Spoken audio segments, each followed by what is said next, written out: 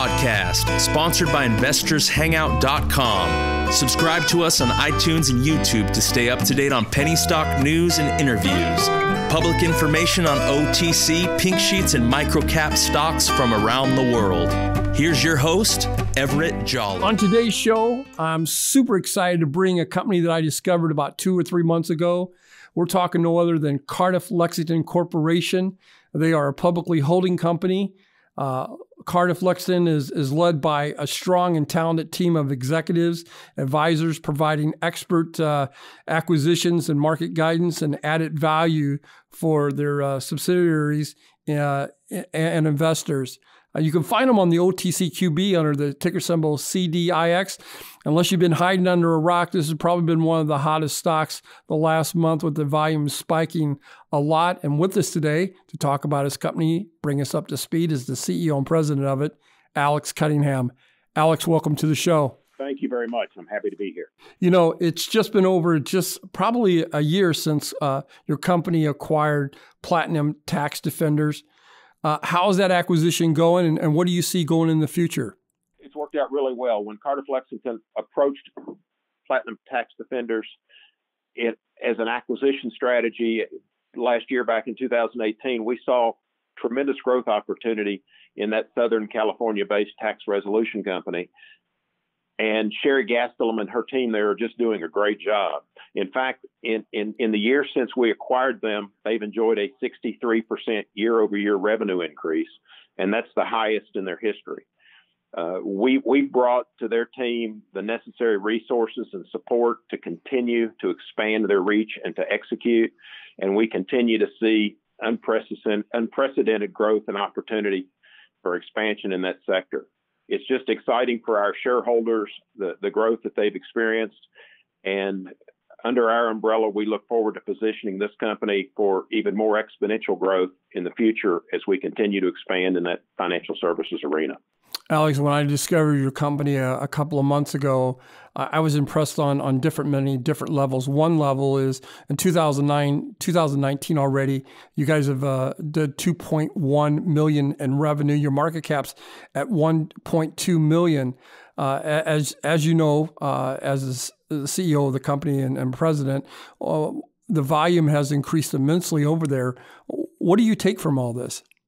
Well, I think we're doing some things that are drawing attention, and, and we're happy to see the the increased volume. We think that we're, I guess, like management of most public companies, feel like that we're dramatically undervalued, and we think our market cap is really artificially low based upon an artificially low uh, share price. Uh, we have had some necessary convertible debt that that has been trading out, and and we knew that we were going to be increasing the float doing that, and and and we knew that we needed to do that to some extent on a variety of levels, but it, but it's very controlled, and and we would like to see uh, uh, the stock price more reflect the accomplishments that we've already put to, on the books and the and the things that we're doing going forward. And we think that volatility is people just aren't really sure yet. And uh, uh, as, as, we continue to post good numbers, I've always believed that that the market recognizes performance over time, and if we just keep doing what we're doing, the the, the value in the stock will will continue to rise and catch up, and the market value will be more reflective of what's going on. I want to change gears here. Recently, you guys uh, put out a, a, press release about maybe a, a, letter of intent with Accella uh, Biomedical. Uh, what can you tell us about that? Well, we did put out a press release. We we've tried to be relatively transparent. We we normally do not put out a press release on letters of intent. We we made that decision again a little over a year ago. Uh, but we did need to acknowledge in our forward statements in our Q2 filing that these discussions were taking place and that we had entered into a letter of intent. And that created a lot of buzz in the market, a fair amount of misinformation and speculation and and and and all of those things that are incumbent with being an OTC company and and and, and having penny stock day traders in your stock. Uh, everybody uh, that doesn't have information makes up information. So so we felt you know you know how that goes. And so so we we I do. So we felt that incumbent upon ourselves and to protect our shareholders uh, and, and really to protect the Accella Biomedical, who was getting barraged with unsolicited requests for information, that we put out a press release. And and, and essentially, uh, Accella Biomedical is a verified hemp grower, distributor, processor, extractor, and retailer specializing in CBD oil production. And, and we think our partnership with Accella just affords Cardiff Lexington an incredible opportunity. Uh, Accella farmers currently in Kentucky have over two and a half million hemp plants in the ground. I've been in the fields, uh, over 10,000 acres uh, that we've traveled across in pickup trucks, and, and, and the plant looks wonderful. It's about waist high in, in, in some areas and, and almost chest high in others. Uh, this is Accella is a clinical stage biotech company that produces only the highest quality pharmaceutical grade purest CBD oil, which is why they really attracted our attention. They reside on, uh, near the Ohio River in Maysville, Kentucky, in a 122,000 square foot facility on 14 acres that has uh, has room to meet their growth. And they have a second location of about 34,000 square feet in a facility on another 14 acres in Winchester, Ohio, where where they're doing some greenhouse operations and and have some big expansion plans. And and Ohio just recently uh, uh, passed some some hemp laws, but they've already passed medical marijuana in the state, and that affords a whole nother level of opportunity. So essentially, Accella Biomedical is a, a seed to shelf quality CBD hemp cultivation and CBD oil production company and they have soil to bottle rigorous tested highest quality organic retail products and the best in class extraction methods.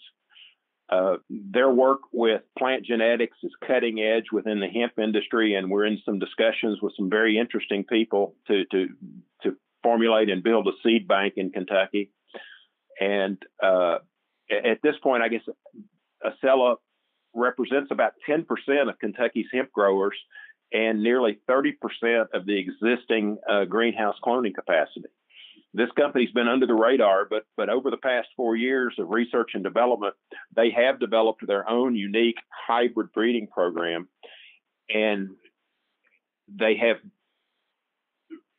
road tested, formulated through trial and error, really, really refined their extraction process and capability. With our help and what we're bringing to the table, they're going to be able to expand that extraction capacity. And in 2020, we expect them to be able to exceed 9,000 liters of CBD oil production per month. That's really important when you understand that one liter of high quality CBD oil sells for a thousand to three thousand dollars currently on the market. So we see a Absolutely. you know we see a really strong uh, interest from tobacco farmers that we believe can are transitioning to hemp at, at, a, at an increasing uh, uh, in, in, increasing numbers, and, and, and combined with the ideal growing conditions that you get in that uh, burley tobacco belt, uh, this will make Kentucky the epicenter of the CBD oil industry in the United States.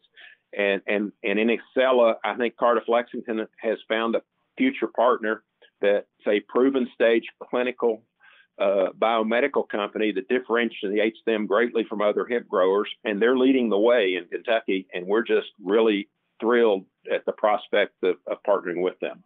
I don't want you to take this the wrong the wrong way, Alex, but uh, why are you so bullish on on hemp and CB uh, oil industry, especially in Kentucky, when I feel that you might be a little bit too late to the game? Well, it's actually really early in Kentucky, and it's certainly really early in hemp, and and and, and they're good questions. I, will tackle it in, in, in I guess two phases. First of all, why hemp?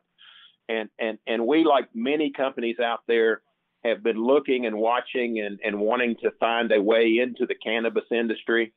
Uh, with the growth throughout the country has has been phenomenal. Uh, we've looked at multiple absolutely. You know, we've looked at multiple transactions in, in collateral businesses and directly in, in in cannabis. It's such a hot sector. You know the double digit growth is there, and and and, and the ROI is just impressive. And it, we we just could not find something that that a worked for us and b worked for them. And, and, and some of the problems revolve around the legalization of marijuana and, and, and all of the all the issues and conversations that that, that generates. With hemp, uh, and the, more importantly, the CBD oil it produces, there there are many uses and applications without most of that controversy that surrounds marijuana, whether it's medical or or, or legalizing uh, it for recreational use. CBD oil is solely a medicinal crop, and and it does not have a recreational component. So we think that that that hemp's ideally positioned uh, to be a, a contributor to many products uh, to help with inflammation and a host of things that aren't even discovered yet. And, and, and so that's a good fit. Why Kentucky? Well, we've got deep roots in Kentucky, Ohio, West Virginia, Tennessee. Uh, it's a region that we've lived in, grown up in. We've closely followed the, the developments of hemp.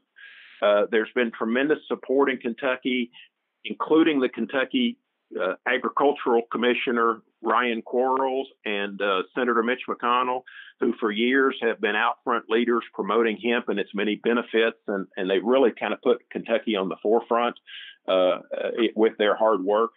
So, you know, Kentucky has very experienced tobacco farmers, and and and the burley tobacco segment of the tobacco business is, was always the highest and best crop because of the region it was grown in and the perfect growing conditions. And hemp is very similar to that and, and, likes those same conditions. The type of hemp plant you grow for CBD oil is the different than the type of hemp plant that you grow for clothes or rope or to make sails. There, there's there multiple uses for hemp, and they come from different plants that are genetically diverse.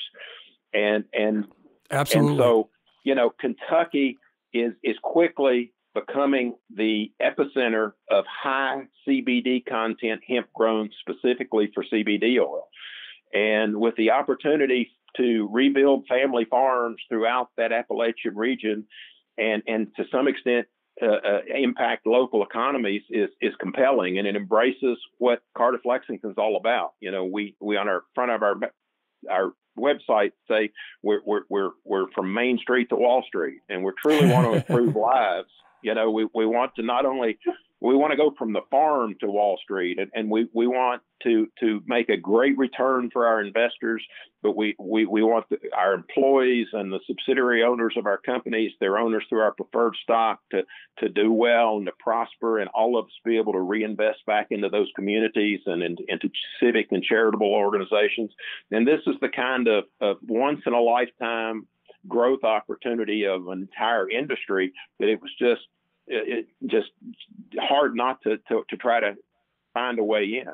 You know, Brightfield Group uh, said in 2017 that CBD oil sales were about 291 million, and they forecast in 2021 that CBD oil sales are going to be 1.65 million. That's a right. huge jump. And so I don't think we're too late to the party. We're, yeah, it's, it's 1.56 really billion. Yes, 1.65 billion. So we're truly at the early stages of this industry development. And as the science based methods drive innovative CBD products in both the wholesale and retail space, uh, it, this is going to transform a whole region of the country. I agreed. Alex, unfortunately, we're running out of time, but uh, I, I, do appreciate you coming on the show. As for my listeners, I think I'm bringing you a brand new company. It's I would take a look at it. It's my personal opinion. They're grossly undervalued here under a half a penny a share. We're talking about Cardiff Lexington Corporation. My guest today is Alex Cunningham. He's the CEO and president of that company. You can find him on the OTCQB under the ticker symbol CDIX. Alex, it's a pleasure to speaking with you. Hope you become a regular on the show. Come back in 40 or 50 days and give us an update of what's going on with your company. We'd love to come back. Thank you for taking the time to listen to a little bit about where we're headed, and uh, have a great day. This program is entirely sponsored and produced by La Jolla Media LLC, which is responsible for the content. The opinions and information provided on this program are for educational and research purposes. Stock Day encourages all listeners of this program to do their due diligence and research when determining investment strategies that will work for them, or to seek the assistance of an investment professional.